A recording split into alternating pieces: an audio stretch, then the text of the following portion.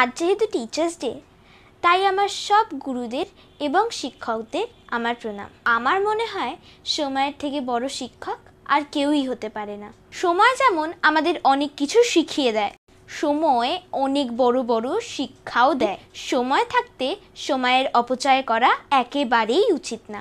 আজকে একটা দারুণ স্টোরি বলব ছোটদের জন্য। একটা ছেলে ছিল, সে খুবই অলস প্রকৃতির ছিল।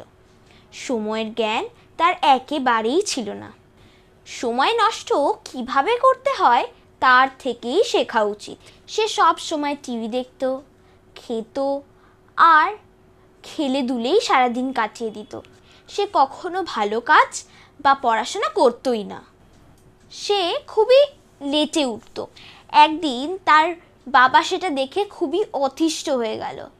তার বাবা তাকে বলল শোনো বাবা, তুমি তো এখন খুব ছোট, তাই জন্যে এই সময়গুলো তুমি নষ্ট করো না। পরে তোমাকে পচতাতে হবে। তাই জন্য তুমি এখন তাড়াতাড়ি সকালবেলা উঠে পড়ো আর একটা ডেলি রুটিন মেনটেন করো। সেটা শুনে তার ছেলে বলল, ঠিক আছে, আমি তোমাকে প্রমিস করছি, আমি পরের দিন থেকে একটা ডেলি রুটিন বানিয়ে নেব, সেটাকেই আমি ফলো করব। পরের দিন ছেলেটার স্কুল থেকে একটা ফোন এলো। ছেলেটা ফোন ধরে বুঝতে পারল যে ওদের স্কুলের প্রিন্সিপাল তাকে ফোন করে ফোনটা ধরে ছেলেটাকে তার প্রিন্সিপাল বলল যে সে একটা কন্টেস্টে নাম দিয়েছিল এবং সেখান থেকে সে একটা প্রাইজ পেয়েছে। সেই দিনই যাতে সে সেই প্রাইজটা কালেক্ট করে নেয়। ছেলেটা ফোনটা দেখে ভীষণ খুশি হলো। কিন্তু সে এটাও মনে মনে ভাবলো যে দূর আজকে একদম ভালো লাগছে না।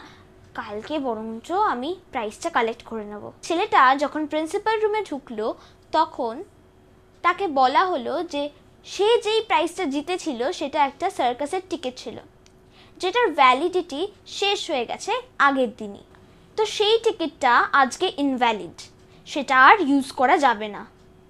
অনেক সময় আমরা যেই কাজগুলো পেন্ডিং করে রাখি বা ভাবি যে কালকে করব বা অন্য কোনো দিন করব, সেই কাজগুলো অন্য কোনো সময় আমাদের করার সময়ই হবে না। ছেলেটা এত লেজি ছিল যে তার বাবা বোঝানোর সত্ত্বেও সে অ্যাজ ইউজুয়ালি রয়ে গেল। তার মধ্যে কোনো পরিবর্তনই দেখা গেল না। সেই জন্যে সে এত বড় একটা অপরচুনিটি মিস করে গেল। সার্কাসের শোটা বোধ হয় একটু ছোটো অপরচুনিটি ছিল। কিন্তু এমন অনেক সময় হয় আমরা লেজিনেসের জন্য অনেক বড় বড় অপরচুনিটি মিস করে ফেলি।